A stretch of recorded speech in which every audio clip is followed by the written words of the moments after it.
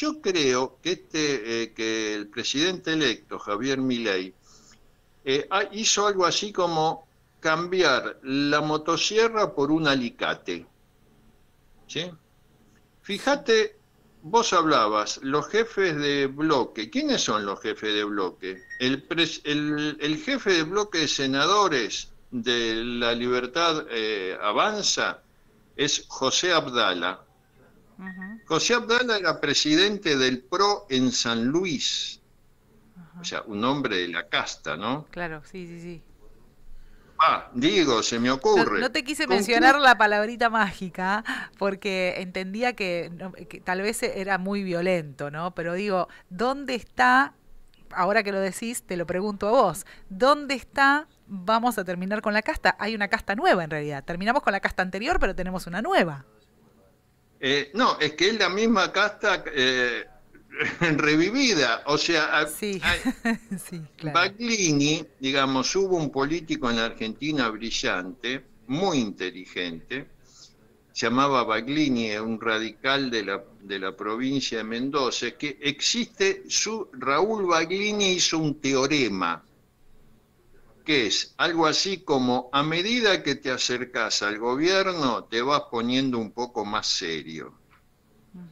Digo, fíjate que la promesa de dolarización y cerrar, quemar el Banco Central murió hace unos días atrás cuando el presidente electo Javier Milei cesó en sus funciones al señor Ocampo, que era el principal impulsor de esta medida. O sea, a ver, todos pensábamos que íbamos a cobrar sueldos en dólares, etcétera, ese disparate, ese disparate monumental, ¿no? Y ahora, ¿en qué?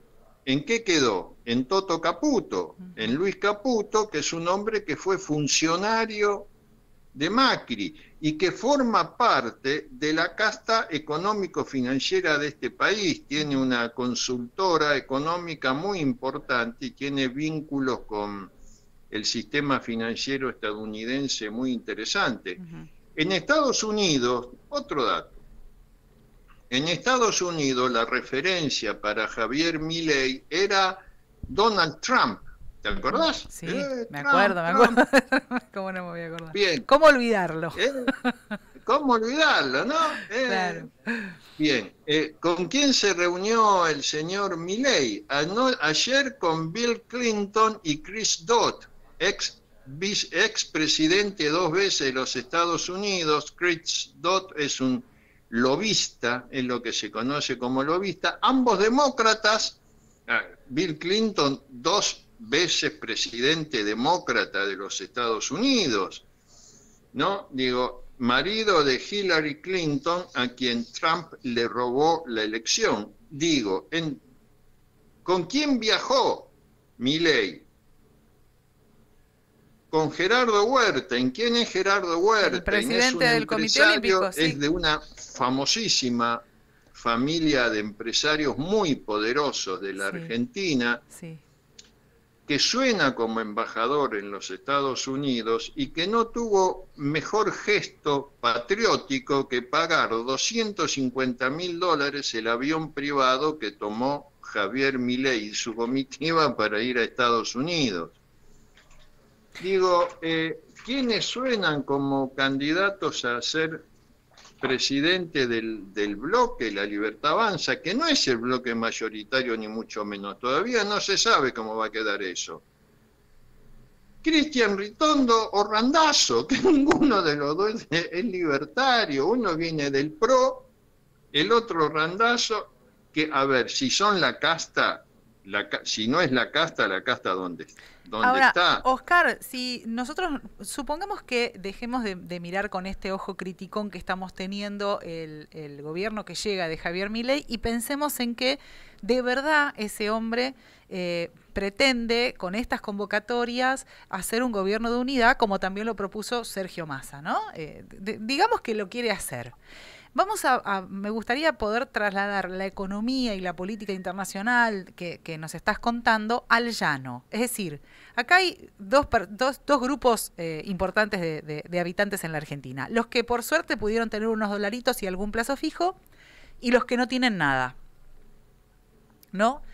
¿Qué hacemos? ¿Qué hace este gobierno que entiendo es de derecha y que entiendo es liberal y que son conservadores de derecha, que o sea, tienen todo lo que no tiene este gobierno actual de, Alberto Fernández, digo, lo blanco y lo negro, la mismísima, la mismísima oposición está en este momento sucediendo.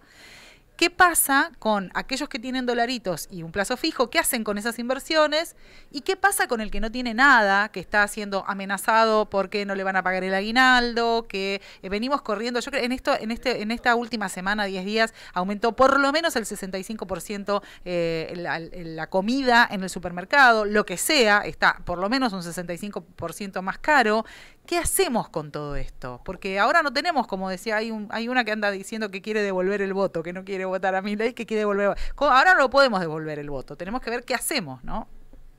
El otro día le decía a un amigo que en tres meses nadie va a votar a mi ley. Nadie lo votó, ¿viste? Como cuando fue con Menem. Sí, claro. Cuando fue con Menem, que nadie lo había votado, algo parecido va a suceder. Mirá, eh, creo, en función de esto que te digo, de este acercamiento a la realidad objetiva, eh, el que va a ser eh, ministro del Interior, el señor Francos, es un tipo, es un hábil caminador de la política argentina, nunca tuvo cargo, pero siempre ha sido un lobista de primera. Eh, fue, fue conoce la provincia porque fue presidente del Banco Provincia eh, cuando en la primera gobernación de Daniel Scioli, ¿no? Digo, pasó por ahí, yo lo conocí ahí a Francos en realidad. Pero bien, ¿qué va a pasar? No creo que haya un, desarme inmediato de los planes sociales. Creo que esos aumentos que vos eh, has visto se van a, van a aumentar va, los precios van a subir más. Básicamente tenés un gobierno con el síndrome del pato rengo porque nadie le da, pero ni le levantan el teléfono, se acabaron los precios, los precios justos, los precios libres, los precios acordados, todo. Ahora van a ser todos precios libres y el principal precio libre va a ser el dólar. No creo que haya una, una escapada tremenda del dólar, no porque ya el dólar no está tan bajo como alguno pensaba, estamos hablando de dólares a mil, a mil pesos, ¿no? Mil cien, mil doscientos pesos, eh, pero tenés todos los aumentos por venir. Eh, se hablaba, por ejemplo, liberar la cuota de las prepagas. Está bien, acá la, aquí en, en la costa quizás no tenga mucho impacto porque hay muy poquito de eso. Pero en, en, el resto del país puede ser un impacto muy fuerte. ¿Qué va a pasar con el aumento de, eh, los servicios? ¿Qué va a pasar? Te digo algo que pasó totalmente desapercibido. Se derogó el decreto que limitaba los aumentos en telefonía celular y, eh, e internet. Sí, sí, sí. O sea, es como que, viste, nadie, nadie lo tomó en cuenta. O sea, esperate eso porque eh, esos dos servicios aumentaron un 50% de, de lo que fue la inflación, o sea, le van a dar un sacudón importante. A mí me preocupa también la gobernabilidad, porque el año, este año, hasta lo que va de este año, la provincia de Buenos Aires recibió 410 mil millones de pesos de fondos adicionales. Se llama fondo discrecional, pero la, la, palabra no es peyorativa, ¿no? Digo, es, se llama así, fondo discrecional. El gobernador Axel Kicillof ya pidió la autorización para tomar deuda por 150 millones para pagar los primeros, lo que prevé el gobierno provincial, que van a hacer algunos movimientos importantes. Los, los, eh, los intendentes le están pidiendo fondos para pagar los aguinaldos. Eh, a diferencia de lo que puede pasar en otros lugares, y esto puede ser paradójico, mientras que aquí en la costa comienza quizás la temporada alta de trabajo, de demanda laboral, posiblemente en otros municipios el corte de la obra pública, etcétera, genere bolsones de desocupación importantes, junto con la caída en el nivel de ingreso del del promedio, del argentino promedio, que va a ser menos arreglos, se van a caer las changas, etcétera. Vamos a tener, me parece, unos meses eh, bastante duros, bastante duros. Y no sé si esa dureza va a significar la solución del problema argentino, ¿viste? el sobre todo el problema inflacionario, que, que mi ley cambie cambie lo que pensaba de la casta y se reúna con políticos y todo lo demás, a mí eso la verdad que ya, ya soy bastante grande, lo vi muchas veces, no me, no me preocupa. Pero sí la gente, como decís vos, ¿no? Por supuesto. sí la gente. ¿Qué hacemos con la gente?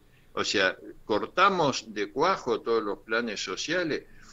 Lo que, lo que el gobierno de Alberto Fernández le sacó a los jubilados y pensionados supera, casi duplica lo que le sacó Mauricio Macri. Son datos oficiales, ¿eh? son datos oficiales. En lo que va del año, el gasto social en jubilaciones y pensiones cayó un 20%, por ejemplo, solamente en este año.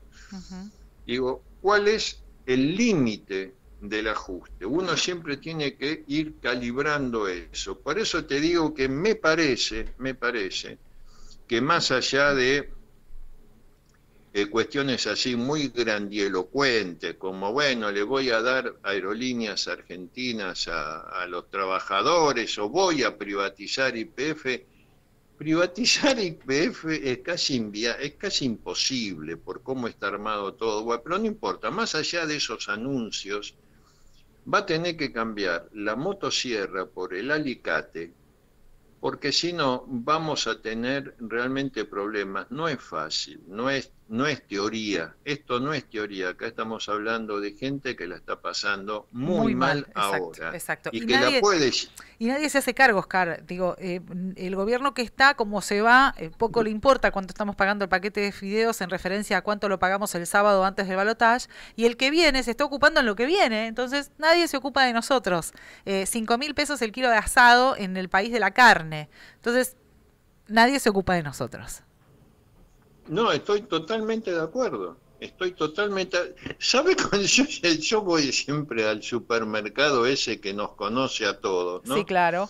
Y vuelvo, y vuelvo, y vuelvo y le, y le digo, le cuento a mi mujer, ¿sabe cuánto está el kilo de uva?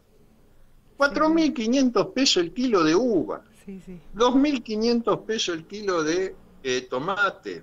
1.900 pesos los cherries. Digo, ya, mm. vos me decís, bueno, comprar, ni tomate, ni, ni tuco. Nada, nada, nada, nada, nada, fideo pelado nomás. Somos Radio Noticias.